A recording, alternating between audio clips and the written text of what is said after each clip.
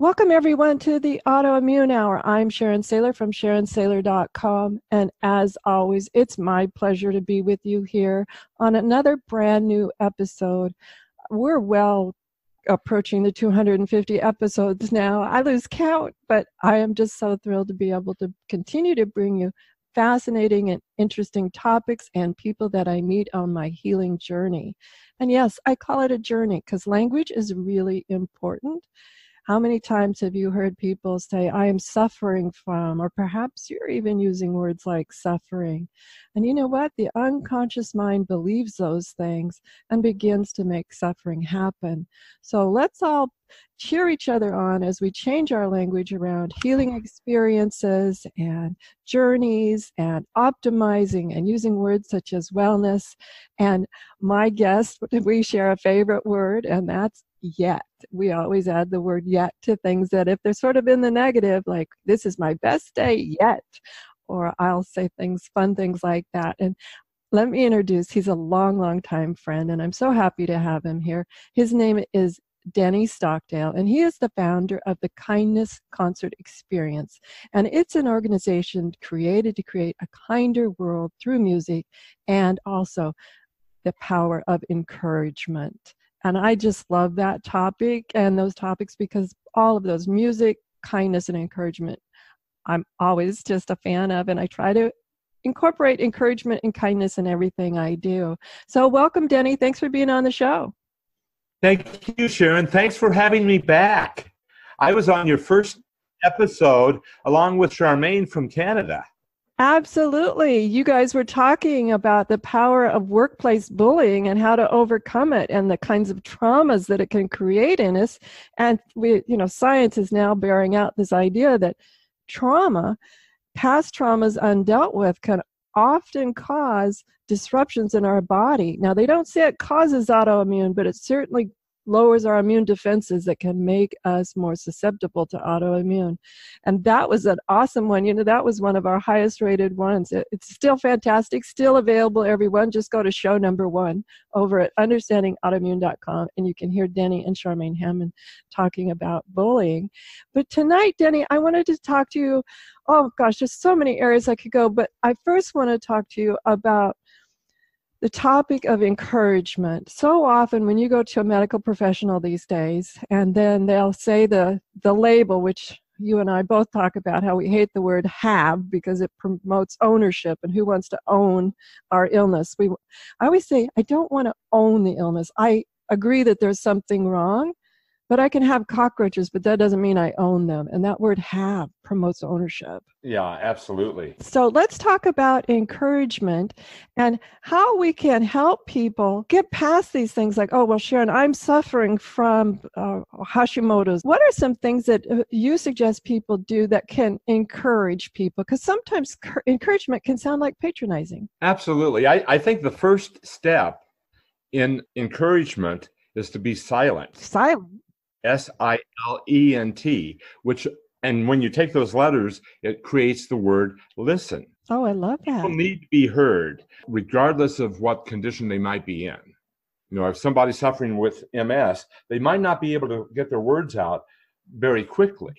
And I was a Santa Claus for an MS Achievement Center here in, 20, in the Twin Cities for several years and won awards for volunteering with them. So I, I know a little bit about that. But when I when I think of the power of listening to somebody and just letting them tell a little bit of their story and being present, that is so encouraging. You know, I never would have thought that just sitting there listening in silence at the my first thought, but now that I'm meditating on that, what you said, that's absolutely so powerful. That's one of the first steps they talk about in grief recovery too. And I have to tell you, when I first got my diagnosis, as you know, Denny, there was some periods of grief there. There was some periods of loss there. What's the next step once we've the people have felt, you know, say, "Oh, it's so nice to be heard for a change," or things like that. What are some other ways that you have found that people like to be encouraged, or that they see some sort of gesture as being kind? Because oftentimes, when we're not feeling well, things can be misunderstood easily if I'm in pain. I can get kind of grumpy, I have to be honest. Oh, I do too. I get very grumpy at times, as you know. But anyway, um, I could talk about listening for, for hours. Just make sure the people feel heard. I think asking questions to clarify where they're at or what, what's gone on in their story. And a real simple statement is tell me more. Just tell me more. Mm, I love that. And sometimes when I'm listening, I get triggered and I'll go off on a different tangent and I might lose a few of the important points. And if I do that, I'm I'll I'll own it and I'll say, you know, I just you triggered something in me. I had a different thought. Can we revisit what you just said? Oh, how kind. How kind to say that, hey, my mind wandered for a moment there. how nice. You know, one of the things I always say too, and it I, I tell me more is awesome. And sometimes I'll say, just so I understand.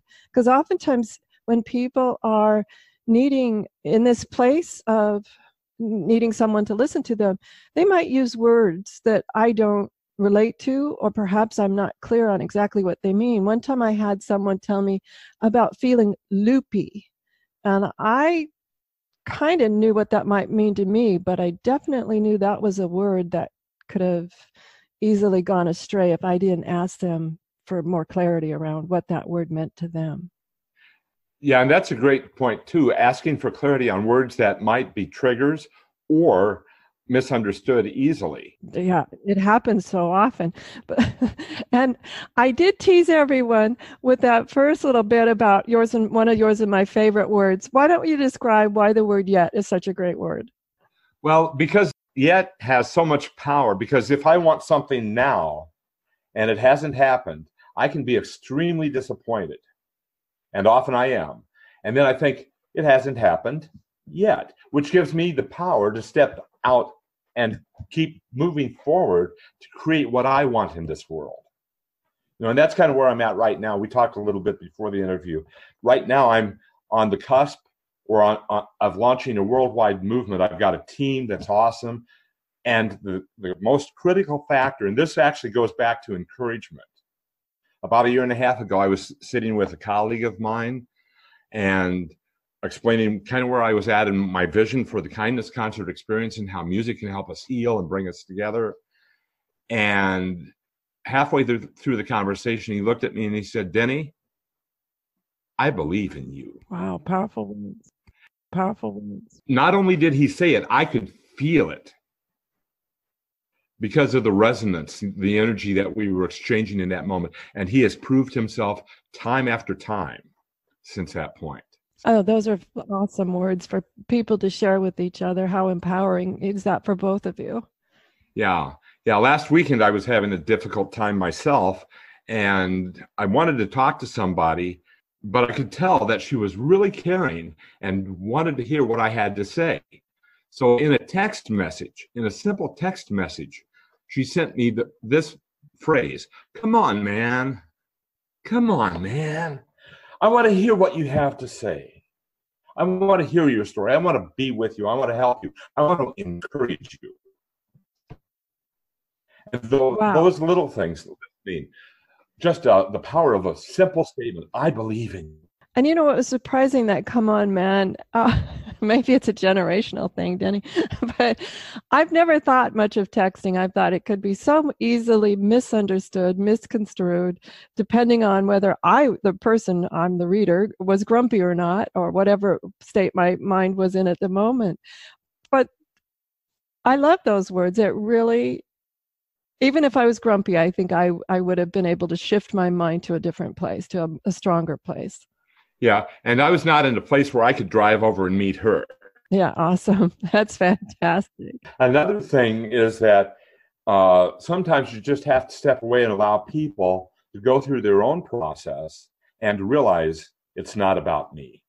That's true. And sometimes it's very hard. We talked before on the show about having this process of uh, quit taking it personally. A dear friend and longtime mentor of mine, Michael Grinder, has this wonderful tip he shares with his classes and workshops where he takes a Q tip and you put it in your pocket to remind you. So the Q for quit, the T for taking, the I for it, and the P for personal. And so if you're one of those people that find you take everything personal, And sometimes you don't realize that till your friends tell you quit taking it personally. sometimes we're taking it so personally we can't even see we're taking it personally. I found the Q-tip a great visual reminder cue to to um, kickstart me out of whatever little hole I've fallen into about where I'm so sort of in that woe is me place for a moment or two. Yeah, yeah. I, I I've I've seen people and worked with people who have um, ha- had an experience where they go into a trauma reaction and don't realize their surroundings and act out from that space. And right. you know, how how do we deal with people like that? And in my case, all I can do is not take it personally. It still hurts a little bit at times.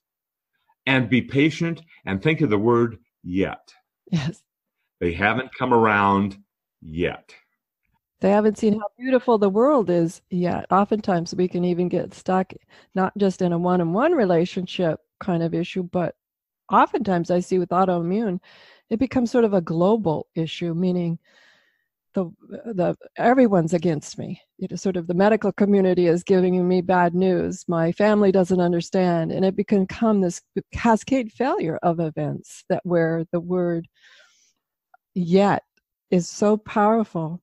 And I know you wrote a blog post recently that I loved, and it was about getting over it. And I love that because it's my the part that I enjoyed was it. yeah, thank you, thank you. Uh, I'll I'll share a few excerpts. You know, I, I hear "get over it" a lot. I don't use that phrase because I want to allow people to process their own way. But when you when I hear that, it also reminds me that the people that are saying that probably have an it they want to get over as well. I think we all have at least one it, don't we? Oh, we. I have more than one, but uh, you know, there's certain memories that that trigger things. There's certain memories I'll never get over. The loss of my mom in January and the blessing that was her last two weeks on Earth. She had a beautiful death, and it was still one of those it's I'll never get over. We can all reflect on those moments where people will say get over it and you're like i'm not sh- i don't want to get over it I want to learn how to deal with it or I learn to process it or learn to create a beautiful memory around it, but I don't want to get over it. Yeah. And a few minutes ago, we talked about the power of listening and just being there for people. And music also helps bring people together. It helps me process a lot of the things that I have dealt with and that others have dealt with. And when I think of it, there's three its that came to mind.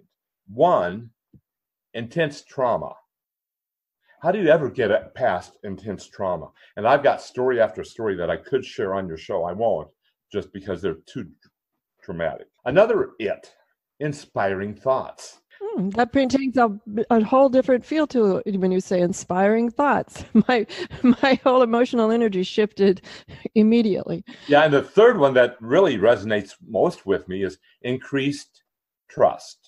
Mm. I'm cur- currently working with a uh, writing group here in Minneapolis on a book that they're coming out with later this year or early next on trust.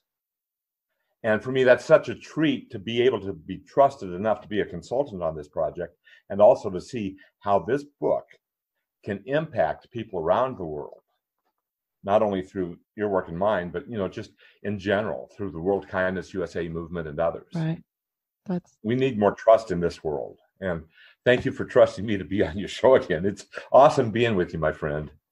Oh, I always enjoy you so much. We're going to take a quick commercial break, and when we come back, we're going to talk to Denny more about oh whatever rabbit hole we find. That's what happens when old friends get together. But some of the things we're going to talk about is the the kindness concert experience, as well as the power of music, and back to the topic of trust and permission. So we'll be right back. Denny, as we had to take that commercial break, we were talking about the topic of trust. And I want to throw in the topic of permission. Oftentimes, people will assume they're trusted or trusting, either way, far more than they are, and forget this whole idea of do I have permission with this person to go there? And by that, I'm for the audience, I'm just going to share this universal topic of teenagers. If you've ever had a teenager or experienced a teenager, you'll know that the parents oftentimes don't have permission to say certain things, but a trusted friend, a trusted ally, a, a aunt or uncle, some a grandparent could say things that the parent can never get away with. so that's that's Denny's and my uh, definition of permission. So let's talk a little bit about building trust in someone, Denny. If they're like, hmm, I don't know. Let's talk about how we build trust with people. Listening, obviously, one of our first topics that we talked about, besides but listening. But let's talk a little bit more about the topic of building trust. Yeah, I I, I think uh, well, there's a lot of different elements. First of all, is self trust. Can I mm. can I trust yes. myself in this situation? And one of the tools that's helped me a lot, a little aside here, is that I have written out who I am as an encourager. What does that mean to me? What is my mission? What is my vision for the for my life? What are my qualities? How do I want to show up as an encourager? And when I when I start feeling down or hard on myself or feel like everything's collapsing, I go back to that page and I'll look those attributes and I'll say, yeah, this is important to me, my values, treating people kindly, regardless of what I have. You know, mm, I like that. We talk a lot about journaling here, Denny, and the topic of journaling. And for the audience that isn't aware of my version of journaling is I always write the current on the right hand side of page and leave the left side blank. And then I go back when appropriate. It's I don't have any scheduled time. Some people write me on the show and tell me they found that, you know, every week, every month works for them, but I don't have personally have a scheduled time. But I go back and review those pages sometimes. And on the left hand side, write what's changed. And that helps me see too that the word yet is really powerful. Oh, absolutely. Absolutely. And as you probably know, I uh, have an inspirational writing course that I'll be putting out later this year. Right. And you have this wonderful, I'm just, we're going down rabbit holes here. That's what happens when old friends get together, everyone. But uh, Denny, tell us a little bit. I, I just, you have an award winning inspirational book. I do. Uh, I came out with a book 10 years ago Conversations from the Neighborhood Ice Cream Shop Eight Keys to Rediscovering Lost Dreams and finding your life's calling. And I will literally say that book has changed my life for the better. It's a wonderful, fun book. I can't believe it's been out a decade and how many lives it's changed in the past decade. Wow. I know, I know. And getting back to, you know, self the, the aspect of trust, self-trust is trusting ourselves and, you know, being kind to ourselves, regardless of what other people might say or how other people might respond to us you know, getting back to the point, it's not about me. Get over it. Um, you know, how, how do we move on past trauma? A friend of mine, and I will, I will share this. A dear friend of mine lost a daughter last year to murder. Mm. She's a musician, and that story impacted our musical community here in the Twin Cities in a very huge way. And a number of us have come around to try to support this family through that trauma and the ongoing grief that they'll experience for the rest of their lives. Without music in the picture, they probably would not make it because music brings us together. We can share a common song together and not have to say a word. And I know how this family is feeling. Maybe not exactly, I don't know the whole story. I understand the depth of that grief. And also the joy that they can create by showing up and just being kind you know wow. so so that's a huge part of trust you know this woman trusts me with some of the deepest secrets around this event. Yes. Oh my goodness. So that's a key element you know going back to kindness and encouragement and all that. Once we get past self-trust then are we trustworthy? I show up trustworthy to a lot of people and yet, there are some people that might have a perception where I'm not trustworthy. And that, again, it's not about me because I know I have a high level of integrity, as do you and most of the people you and I know in common.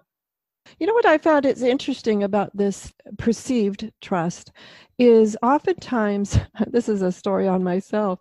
There's a person I met, oh, this is probably two decades ago, a long time, uh, the less evolved me for sure.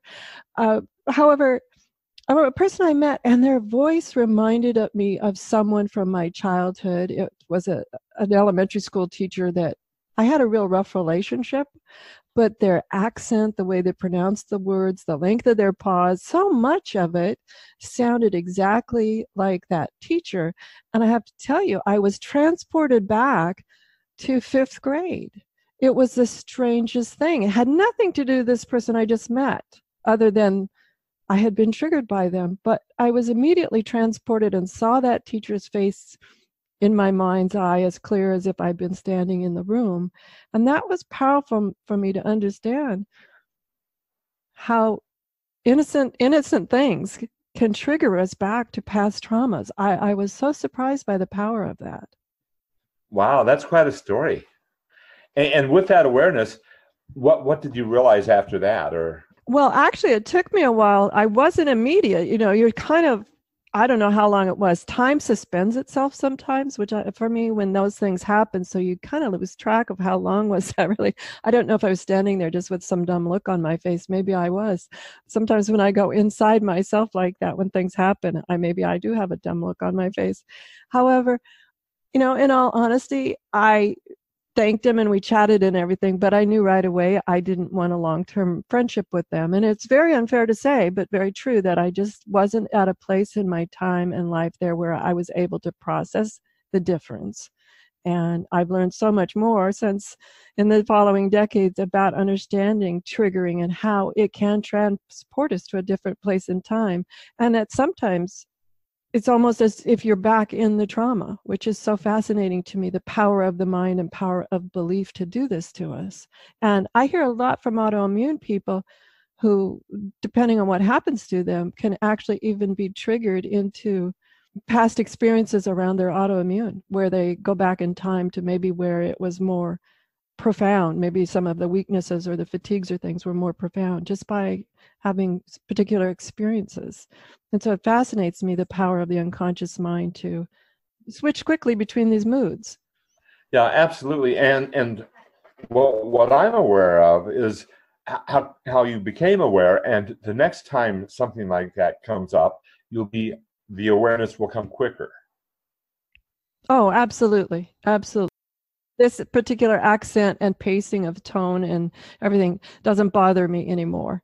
But just to kind of tell a little tattle on myself that uh, I, I really couldn't, while I was nice during the event, did, just chose not to pursue any more friendship with them. And, and it was had nothing to do about them. It was not personal. Yeah, it's one of those. It might have felt personal, but it, it wasn't personal.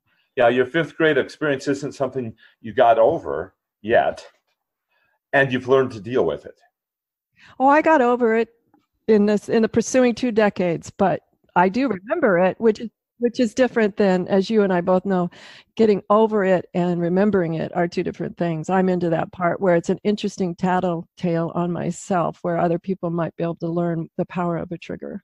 Absolutely, yeah, and and I, have since I've become more aware of those, I've I'm a writer and I write every day, so I've got story after story after story of how people uh, don't really pay attention at times. I, I had a colleague or a friend of mine for a long time who called me a few years ago out of the blue, and we started chatting, and then the subject of politics comes up. And I'm not a political guy. The red hot one. and within about three minutes, he was blaming me for something a politician in Minnesota had done. And I asked him what was the issue, and he said, This guy is a whatever, you know. Oh, and, yes, well, let's put expletive right there. yeah, we won't. We, well, because this might be a family uh, friendly radio show, I'll leave that off the air. But uh, it was just kind of enlightening to me that I'm from Minnesota, politician that he is angry with. He won't tell me what he's angry about. He just tells me that he's angry at the politician and now he's angry at me. Mm, transference, how fascinating that is. And you know, I've heard, heard people tell me that who are medical professionals say, because I can't cure, fix, whatever the pro, you know, patch up, whatever words they want to say, people will transfer their anger on to me about the issue going on. And what I find fascinating, we had Sarah Peyton on the show. Everyone look it up because we've had Sarah a couple of times, but we called the show the power the trans i think the healing power of anger i think is the title but look it up over at understandingautoimmune.com if you want to listen to it. And sarah had this wonderful quote that i'll never forget because it changed my life. She said are you angry at or are you angry that? And that really changes the locus of responsibility that I encourage people to think about because think this poor doctor who has to give this life changing diagnosis and the people get angry at the doctor, but is it really the doctor's fault? Or aren't you angry that this condition happened or this condition is what it is? Or I, I think it's really powerful for, for people to understand. absolutely. Where the responsibility is. Absolutely. Yeah, I, I break it down real simply with anger. Is it what or who? Oh, yeah, that's very similar to at or that. What or who? I love that too. You know, that is yeah, yeah. What is the issue? Now, if this former friend of mine had explained what the issue was, then we have some talking points. I might not agree, but I can learn from the and discuss what the differences are, and we can come up with a solution. As long as we focus on what. He focused on who, and he blamed me for the who that lived in Minnesota, the same state I'm from. And I haven't really had a desire to talk to that guy since. that happens. There's too many other people that need us in this world. You know, and how does this all tie back to trust and encouragement? Can you trust somebody enough to sit with their anger? That's a good. And they trust you enough to be angry. You know, when when I think think of an emotional model, I, I operate on four emotions: fear, anger, sadness, and joy and everything else is a derivative of that. And I've done a lot of uh, research and writing about anger in particular because I think it's one of the most misunderstood emotions. And we could have hours of discussion on that alone. And how does anger relate to kindness? If I can allow somebody to take out their anger on me, they might just diffuse enough so they don't take it out on somebody else who would escalate that situation.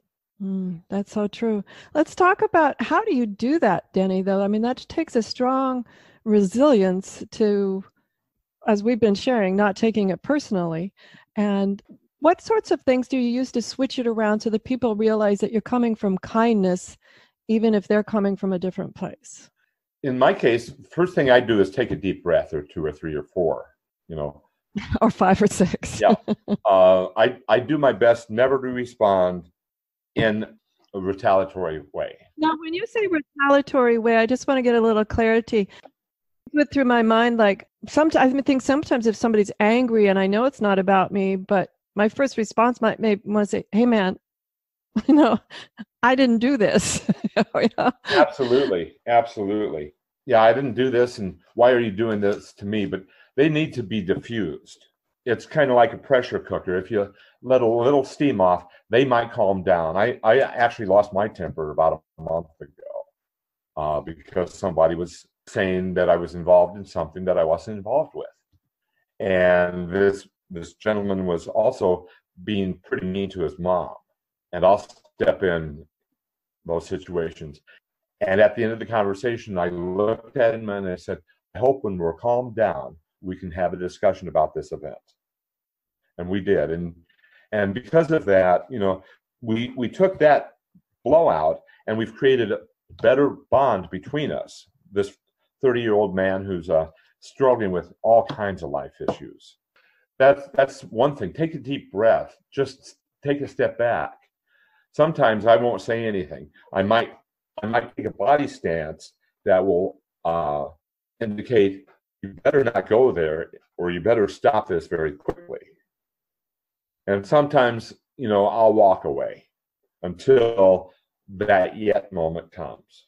No, right. And uh, another thing that's really helped me is to have a strong spiritual connection and other people who will tell me things like, I believe in you. Or, come on, man. Come on, man. You're okay. I want to hear your story.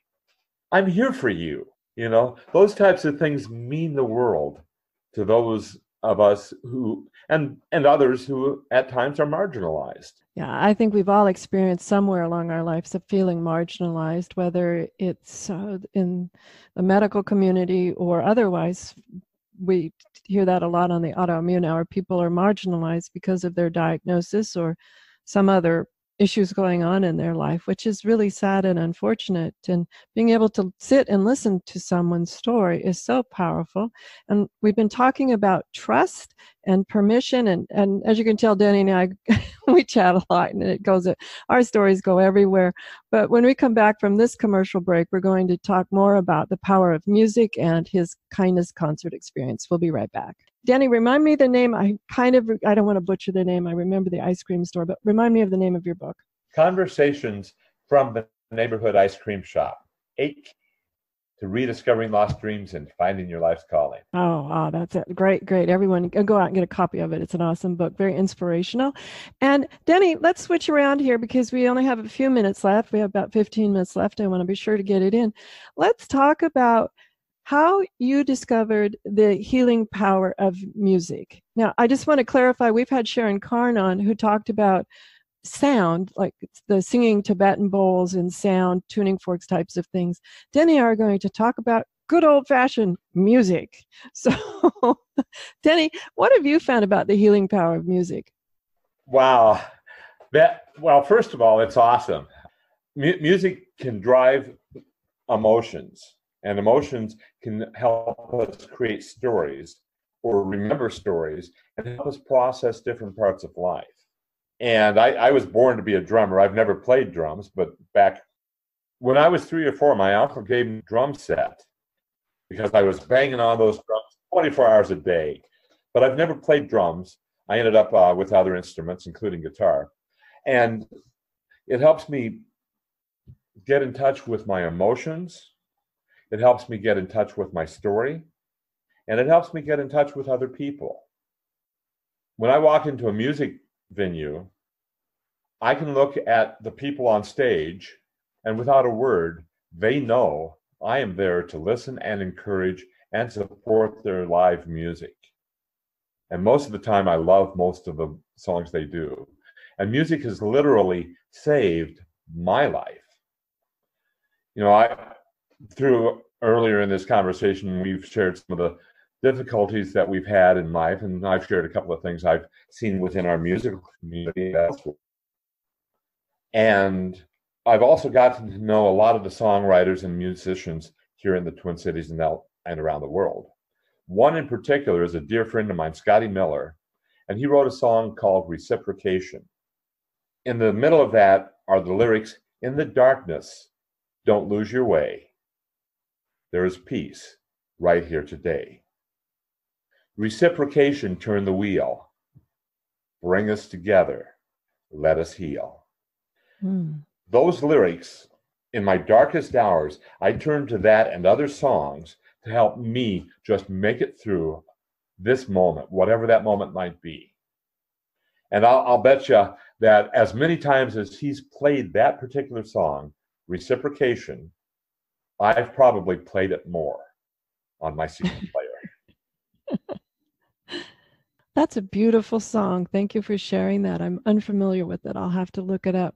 Yeah, it's a, that song is actually the foundation of the kindness concert experience that we started last year. I what I did last year, Sharon, I took some of the musicians like Scotty who have had had worldwide impact as well as local impact, and our original songwriters who are inspirational who have songs that pe- make people think and reflect on life. And I recorded six concerts last year.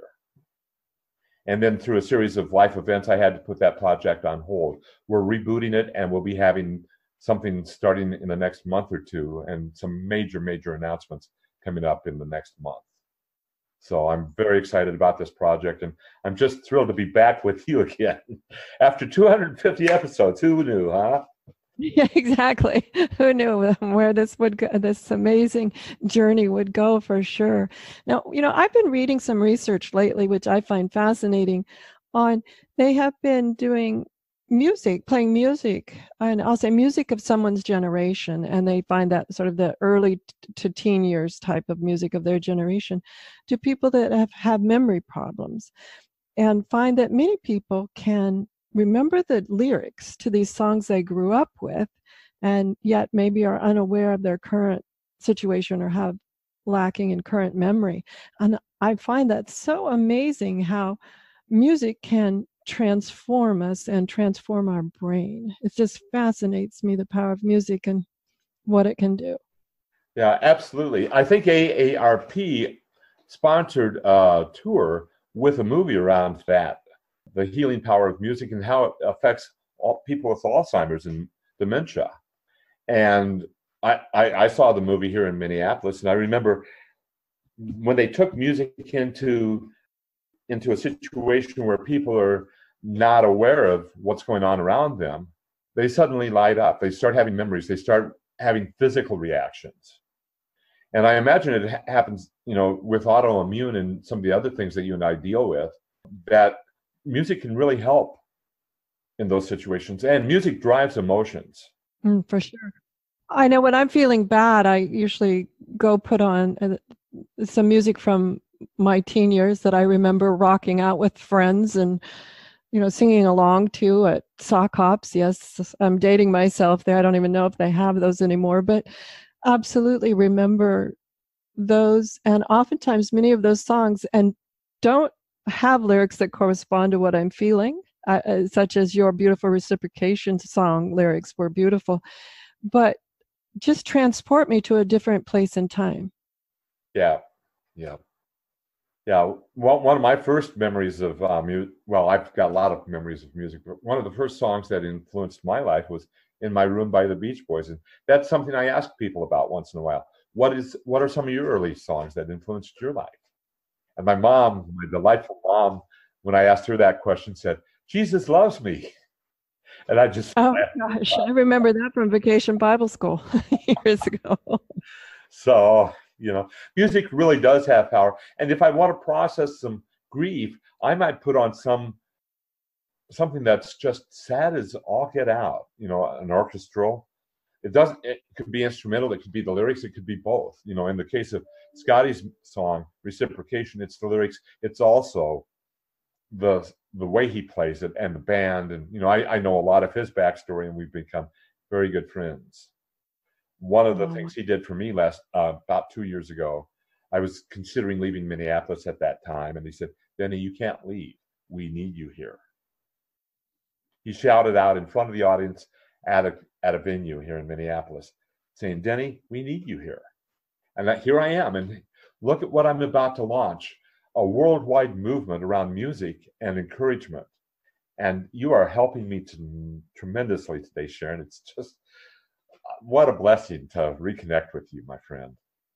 Oh, it's wonderful too. And you, you know, I want to circle back around to that Jesus loves me. Uh, what I was fascinated when you said that. I mentioned it took me back to Vacation Bible School, and the next song that popped into my mind that I have not thought of in since I was what six it was uh, this little light of mine and all of a sudden all of these little songs i learned in vacation bible school as a small primary school kid just came flooding back to me. It's so fascinating. I just got I, for a moment they're transported back to all of those songs from childhood. Wow. Yeah and when you said this little light of mine i got goosebumps. There's a spiritual dimension to everything. And when I asked my mom that question, I asked one of her caregivers what her favorite song was. And she said, This Little Light of Mine. and and some of the people at my mom's uh, retirement community used to sing to her, You are my sunshine. You know, so to, getting back to where we kind of started, you know, how do we encourage people? You are my sunshine. And you don't have to sing it, you don't have to say it, just feel it. And other people will too. Yeah, that's so true. That's so true. And we're just down to about the last seven minutes, Denny. I, and I know everyone, we've just been circling all over, but I hope you're enjoying our, our circling and our rabbit holes here. I want to come back to the kindness concert experience and tell us more about it and how people can find out more about it. And then we'll just wrap up some more ideas about the healing power of music. Okay, excellent. Uh, you can find us online at thekindnessconcert.com. We're uh, regrouping after some uh, life lessons last year with team building and things like that. And we're going to be really pushing more for what does music mean to us? How does music influence your life? How can we share our stories and come together and find strength through music and meaning and messages and conversations. My vision for this is to build a community starting with music that will bring people together and talk about some of the things that we talk about on your radio show and start building the trust, the self trust. How do we encourage ourselves when the world collapses around us? These are some of the topics that I want to explore and how to how does music help us make make it through the day and through those days when it doesn't seem like we can make it through one more moment. And then we think of the power of one word, yet. So it's a matter of music, meaning, messages, and just building a community and making it safe for people to share their stories and feel like they're not so alone in their isolation sometimes. You know, I've experienced, and I'm sure you have too, a lot of people that compartmentalize themselves or live with the labels that other people have put on them and they don't realize the beauty that they have inside. Music helps bring that out. If I can play a song that just for a moment brings a smile to your face or helps you process something that's been very difficult the now, that's just life. You know, uh, I I don't have a word for it except music. You know. That's absolutely wonderful. And one of the things that came to my mind about this was when you said people can compartmentalize. And I'm thinking of how often I meet people who are not just autoimmune, any sort of life event. And you say, How are you today? And they go, I'm fine. And yet we know very well that they're not fine. And I was thinking that when the times that I have even been guilty of saying, I'm fine, going and turning on some song whether just some song that comes to my mind, just turning it on, how it really has the power of taking me away. And for those moments, I am fine. And that's what's so powerful to me about this whole idea of song and music. And you don't even have to play an instrument, like Denny plays instruments as well, which, because I'm sure that would be uh, life transporting as well, transporting our current situation to other places as well. Let's talk a little bit, Denny. I know you're quite the accomplished musician, as you mentioned earlier on, but let's just talk about that for a quick moment before we have to go. I've been playing guitar for about 50 years, and I don't play in public yet. Yet. I, have put a few things out on Facebook from time to time, and the feedback I get from our musical community and a lot of the musicians I know is you should be doing more. One of the greatest compliments I got was a couple of years ago when one of our local guitar slingers, who's just top notch, he played in India last year. He asked if he could jam with me because he, and he said, I think I can learn from you because I've kind of developed my own style by watching a lot of people online and watching a lot of musicians and paying attention. And I find that when I play for myself, whether anybody else ever hears me, I get some healing out of that. Yeah. So, and whether you play a musical instrument or not, we all have a voice, and you can hum along to a song or just breathe along to a song. You know, if you're breathing along to a song in rhythm, that song might resonate differently. You know, it's interesting you bring that up. Just this last weekend, I was at an event and they had a beautiful group come in that were from India. And they played their very unique instruments. I don't remember honestly the different names of all the variety of instruments, but that was a wonderful concert where they explained these very unique instruments to us. and then treated us to about 90 minutes of the most fascinating music that took me on this emotional journey. Some of them were old folk songs they told us, and you would almost feel like you're out in the country somewhere da- dancing, and others as I closed out the event. I found myself just getting more and more relaxed to the point where uh, by the end of the concert, that breathing was in harmony, and sync with the tempo of the music. And I could see how they had taken us on this journey of the folk songs at first that were all exciting and very almost dance like. And then by the time they ended the concert, we were all ready just to be sort of tucked into bed almost. It was just a delightful way to end one of our evenings together as a group. And what was fascinating to me was this was music I had heard, but really not familiar with the style of music much. I mean, I can't say I'd never heard it, but I've heard it, but hadn't ever really explored it. And so appreciated this marvelous 90 minute journey into just a completely different world that took me so many places. I know, I know. Yeah. And when you take music and you combine it with conversation and or writing like you and I both do, it becomes even more powerful you know because I, I i can hear the song and then later i can process some of the things through the writing that i do daily and also share some of the stories that with myself that i might want to reflect back on you know we talk about kindness and encouragement and if i'm going to be kind to myself it's important for me to know my story and forgive myself enough so that i can move forward and have that self trust that we've talked about on this show and also share that kindness and the joy of life with each other. And sometimes the joy comes from seeing somebody who has gone through extreme difficulties and seeing how well they still stand up and show up. Thank you so much, Denny. I think that's where the autoimmune hour is all about is inspiring hope and help for people to show up and stand up and be their true self, be true to, to themselves and be their true self. Those are different things, by the way. As we continue to optimize every day, as Denny mentioned, he's been playing musical instruments for decades and he optimizes every day in his practice and to the point where he gets where people are wanting to play with him as well. It's awesome. And just think that if we continue to optimize our wellness regime, our wellness rituals as we continue to go on our experience, our autoimmune experience, our healing journey with autoimmune. How great and grand will be because each day is not a new beginning, as sometimes people say, because in the healing process, in the wellness process, it's all about building on the previous day. We're building, we're optimizing just one little bit more of our self.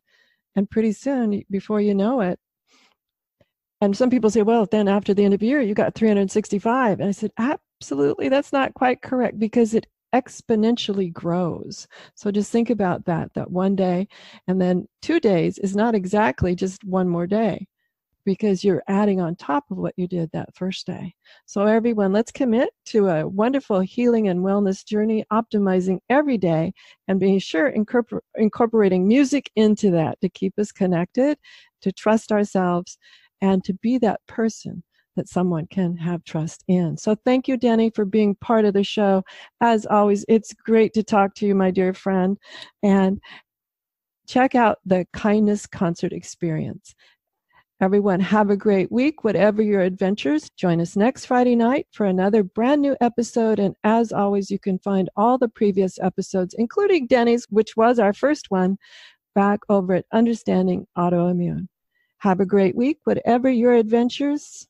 Enjoy. The information provided on the Autoimmune Hour, Understanding Autoimmune, and Life Interrupted Radio, including the websites understandingautoimmune.com and lifeinterruptedradio.com, plus social media, is for educational purposes only. What you read, hear, and see on the Autoimmune Hour, Understanding Autoimmune, and Life Interrupted Radio, and its websites, and other media outlets is based on experience only. The information should never be used for any legal, diagnostic, or treatment purposes. Always seek sound legal, medical, and or professional advice regarding any problems, conditions, and any of the recommendations you see, hear, or read here on the Autoimmune Hour, Understanding Autoimmune, and Life Interrupted Radio.